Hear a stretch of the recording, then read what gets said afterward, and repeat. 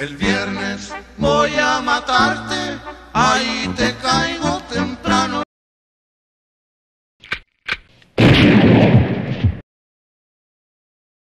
Es hora de ajustar cuentas con la pistola en la mano, si no...